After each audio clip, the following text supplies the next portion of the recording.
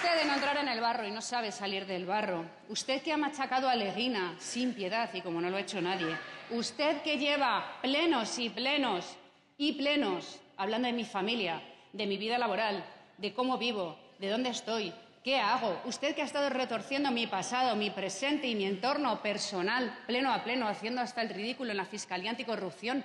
¿Por qué no pide un poco también de perdón por su fracaso ante la Fiscalía Anticorrupción? En el barro se mueve. En el barro. Mire,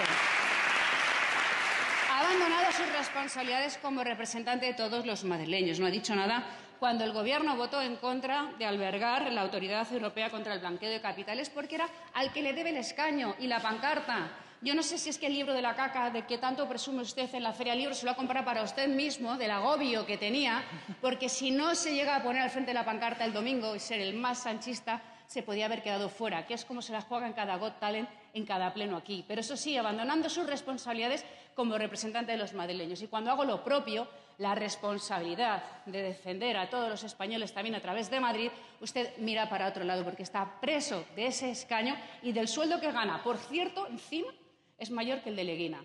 Eso es usted. Eso es usted.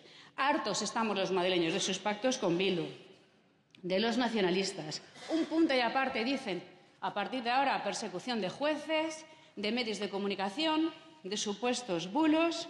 Y eso sí, para librar a Madrid del fascismo. Más de 30 años somos la capital del orgullo, de la libertad, de las oportunidades, del talento. Más de 30 años recibiendo a jóvenes de todas las comunidades autónomas donde gobiernan ustedes y empobrecen a manos llenas. Esto es la batalla por la libertad que se está librando y usted es cómplice de lo que se hace en la Moncloa. Para eso queda.